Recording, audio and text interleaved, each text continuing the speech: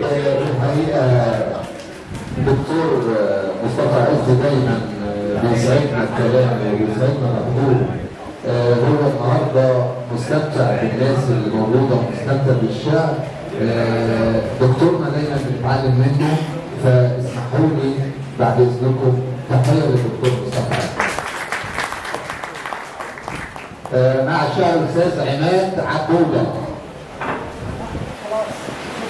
موجود مشي مع الشاعر الأستاذ الكبير كمال كرباش. أستاذ كمال كرباش مديري في الشغل يعني طول براحته محدش يعني طول عادي لا ده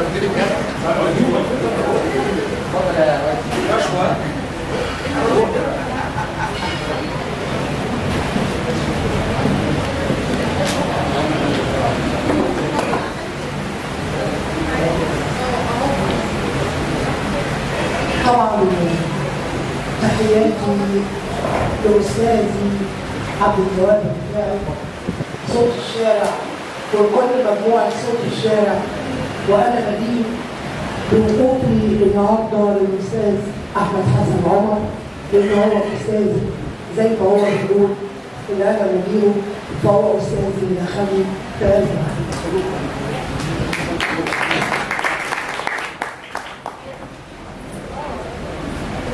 أدور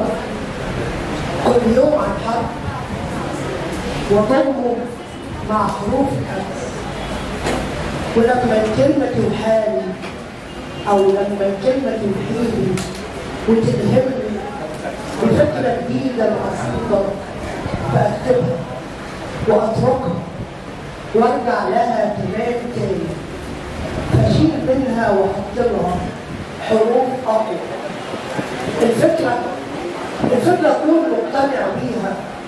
فلما أكتب أشوف وقتها مناسبتها. ولا حصل تغيير في أحداثها. فغيرها فحاول مرة مع مرة للأفضل وممكن أكتب وأقطعها وأحذفها. المهم المهم أحس بمضمونها. أنا كمان إنها كمان معبرة وصادقة. واللي يقراها يكون عارف إنها طالعة مني. بأسلوب وده طبعي اللي بحطه على اسمي. أصل الكلمة دي أمانة. هنتحاسب كده عليها. أنا في دوريني العشرة مش بكتب عشان حد يزعل مني. بكون باقي على العشرة بكتب رسالة تكون عامة.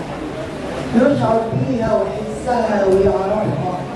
كأنها مقصودة بمكتبها كأني بلوم فيها نفسي وعاتبها وأوربها وصوابها. وأقول محتاج حد ينصحني. وأعرف ناس كلمة على طول مقصودي للمغزى أنا فعلا ما بكتبش القصيدة صح لكن بتاخد مني كده فترة. فلما اكتب عن بلدي أو وطني غير لما اكتب عن أمي أو حبي. ويقولوا عني ده وطني وده عاطفي ورمزي ومش ملتزم بالوزن والقافيه أو ما بين الفصحى والعامة وأكتر قصايدي بكتبها باللغة الدارجه واتمنى لو أكتبها بالنور.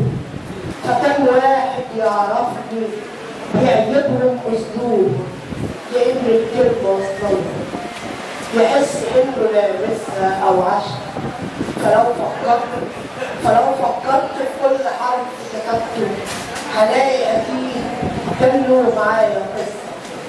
يا ما سهرت في ليلة كانت صهبه أو كان بعد حكاية وونس يا ما كتبت وأنا في الوصلة. وروحت البيت وسبتها.